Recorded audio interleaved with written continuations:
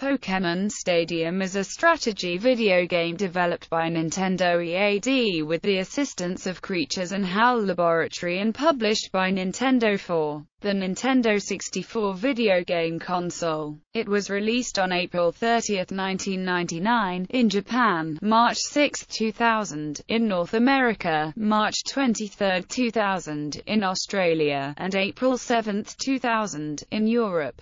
Despite it being the first Stadium title in Western regions, the game is a sequel to the 1998 Nintendo 64 game Pokémon Stadium, which was only released in Japan. Gameplay is built around a 3D turn-based battling system featuring all 151 creatures from the Game Boy games Pokémon Red, Blue, and Yellow. Using the transfer pack accessory that was bundled with the game of players are able to view, organize, store, trade, and battle with their own Pokémon uploaded from Pokémon Red, Blue, and Yellow. A main focus of the game is completion of the four Stadium Cups each of which is a series of three-on-three 3 Pokémon battles against an ordered lineup of opponents. Another battle mode called Gym Leader Castle allows battles against the eight Kanto gym leaders and the Elite Four. Other features of Pokémon Stadium include mini-games, versus style battles, a Hall of Fame, compatibility with the Game Boy printer, and a built-in emulation function for Pokémon Red, Blue, and Yellow.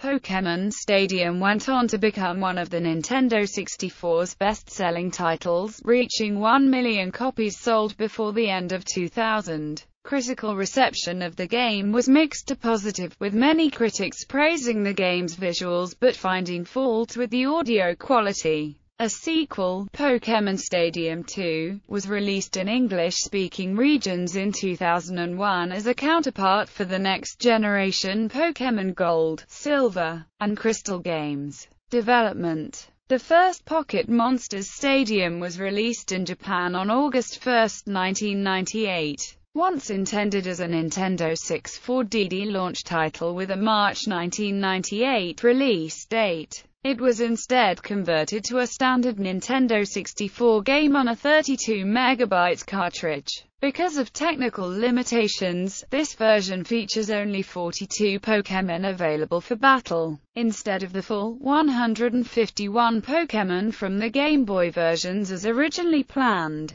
The remaining Pokémon can be viewed in a Pokémon encyclopedia called the Pokédex, but the models lack the required animations for battle. Connectivity with the Pokémon Game Boy trilogy is available using the transfer pack. The game sold a reported 270,000 copies in its first month of release. This version was not released outside Japan, and as such the numbering of the subsequent two is ahead of the North America releases. On February 16, 1999, Nintendo announced that it would be showing Pokémon Stadium 2 in a Japan-exclusive event called Pokémon Festival 99. Early reviews of the game from Japan's weekly Famitsu Crew were favorable because the first game had met criticism for its difficulty, and the AI was toned down for the sequel to make it easier for average players to beat. It was eventually released as Pokémon Stadium throughout North America and Europe.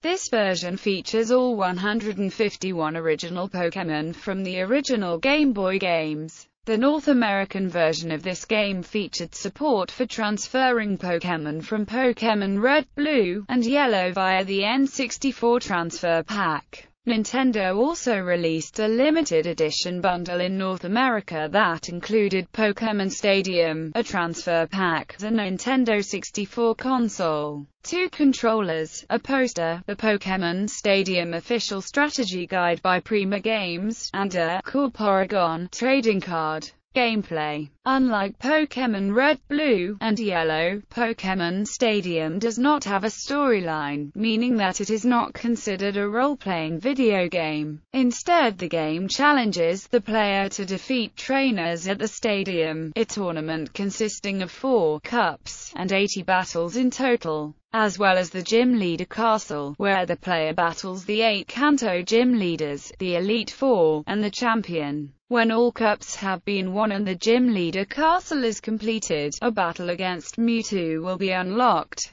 Defeating Mewtwo unlocks another round of Stadium, Gym Leader Castle, and the Mewtwo battle, but with higher AI difficulty. In Stadium mode, the player is challenged to earn trophies by winning the Pika Cup, Petit Cup, Poke Cup, and Prime Cup, each having its own set of rules and restrictions. In the Poke and Prime Cups, four trophies may be earned, one for each level of difficulty, but the Pika and Petit Cups only award one trophy each. After choosing a cup to compete in, the player decides on a party of six Pokémon, which may include any combination of available rental Pokémon and Pokémon imported from a Game Boy cartridge. In each battle, the player and the opponent are only allowed to use three of their six Pokémon. The player wins a trophy after successfully completing all battles in a cup. In the Gym Leader Castle, the player initially challenges the eight Kanto gym leaders from the Game Boy games, followed by the Elite Four, and finally the champion. Before battling a gym leader, however, the player must defeat a gym's three Pokémon trainers.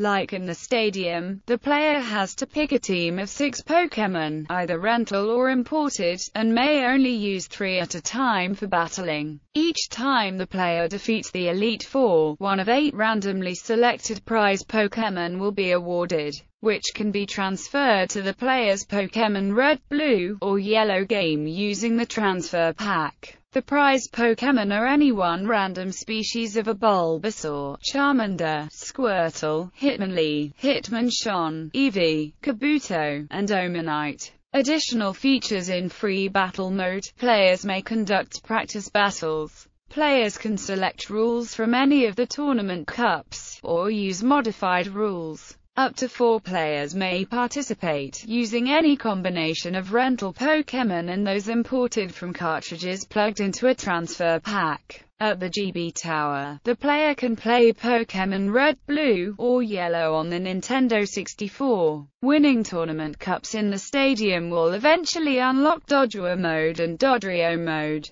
Victory Palace contains statues of Pokémon who have beaten the Elite Four in Gym Leader Castle or completed the highest round of a tournament in the stadium. Battle Now is a battle arena for a quick battle with one or two players where each opponent has a pre-selected team of Pokémon. In an event battle, two players with transfer packs plugged in can use Pokémon from their Game Boy games and battle with custom rules. The gallery is where the player can take photos of Pokémon to be printed at a Pokémon Snap station. The Pokémon Lab is only accessible if a Game Boy cartridge is plugged into the transfer pack. If the game is saved in a Pokémon Center, the player may access the PC and can arrange boxed Pokémon and items. The lab also features an interactive Pokédex and a machine for trading between two cartridges connected by transfer pack. Players cannot, however, transfer rental Pokémon from Pokémon Stadium. Certain Pokémon, such as Mew,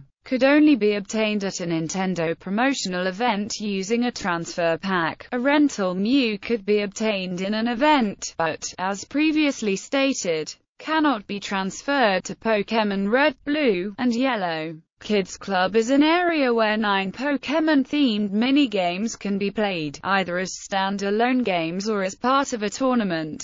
One to four human players may participate, with the remaining players controlled by the computer. A higher difficulty level can also be unlocked. Reception Pokémon Stadium received mostly mixed to positive reviews from critics. GameSpot contributor Jeff Gerstmann gave the game a 5.7 mediocre review, writing that the gameplay feels scaled down and oversimplified, even when compared with the original Game Boy games. IGN's Peer Schneider wrote an 8.2 great review of the game, calling it a must-buy for Pokémon fans but also citing that the audio is nowhere near the quality of some of the recent Nintendo releases. Regarding the game's announcer, a frequent complaint among critics, RP Gamer's Ben Martin wrote that, with a very limited vocabulary and continual comments throughout, sick, every single action, it certainly is a nice option to be able to turn this guy off. In his review on gaming website Cubed3, Ross Morley praised the game's battle system for its beautiful 3D models, special effects and range of options. In its first month of sales in North America, Pokémon Stadium sold over 1 million copies and it became the best-selling console game in the region during the year 2000. Nintendo of America announced that it would be released as a player's choice title, a well-selling game with a lower suggested retail price. On December 26, 2000, approximately 3.97 million copies have been sold. 3.16 million in the United States, 710,765 in Japan, and 100,000 in the United Kingdom Legacy. Only months after its debut, a follow-up to Pokémon Stadium, tentatively titled Pokémon Stadium Gold, Silver, was announced by Nintendo. The game was eventually released in 2000 and 2001 as Pokémon Stadium 2, featuring all 251 Pokémon released at the time. Transfer pack compatibility was included for Pokémon Gold, Silver, and Crystal as well as the original Red, Blue, and Yellow.